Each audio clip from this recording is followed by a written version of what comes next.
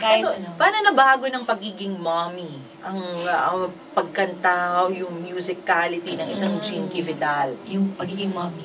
Mm. Ah, ibang klase din. Kasi, ah, mas napapahalagahan mo na yung love kasi. Mm. Yung love ngayon, hindi na basta-basta binibigay sa'yo. Ikaw na ang nagbibigay ng Ayan. pagmamahal. You be- you become the love. Aww. The giver of love. So, mas mas masarap kumanta kasi ramdam mo kasi lahat na ng anggulo ng pagmamahal naramdaman mo na nararamdaman mo. So, being a mom is really exceptional and, and rewarding. Yun. Pero si Jinky nagsusulat din ng kanta. ha? Of Kung magsusulat ka kaya ng song, Mm. patungkol dito sa nararamdaman mong love, kasi yung love sa lahat ng aspeto meron ka. Ano Oo. magiging pamagat ng song? Ay, mga pamagat. Nakatakalam. Seasons of Love. Seasons of Ah, Ay, siguro ano, um, ah, ano to? Siguro, ah, ibang klaseng pagmamahal meron eh. Ibang klase. Ibang klase. Yun siguro, Ah, ibang klase. Talaga Yung- nga naman, no? Yung unconditional. Mm. Walang, walang ano, walang hangganan. Yan. Yun.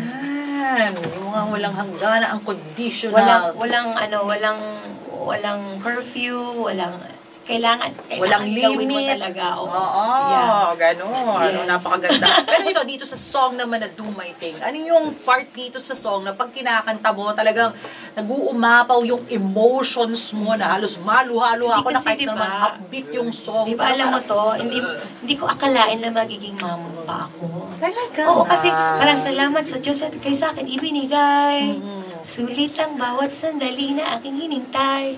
Kumbaga, there was a time na nag, I gave up na. Baka hindi na talaga ako maging mom. Kasi parang lahat na ginawa ko, lahat na parang sinubukan ko na with the former. And, pero wala eh. So parang I surrendered to the fact na hindi na. Baka hindi na nga talaga.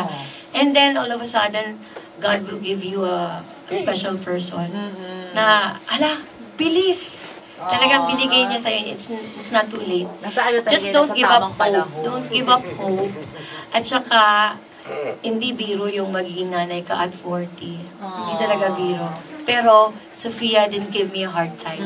And uh, I Uy, was nak- carrying her all night. Mga hindi niya ako pinahirapan. So, sobrang... Naging smooth lahat. Grabe yung Oo. blessing. Grabe. Parang binawi niya lahat. Binigay niya isang bagsakan. Ay, Oo. nakakatuwa. oh, don't lose hope, ha? O, yes, sabi na, all you ladies out there, Huwag, huwag mawawalan. walang ng ano, walang deadline. Walang Yes. deadline, di ba? Walang talagang deadline. Mismo. Do what you wanna do.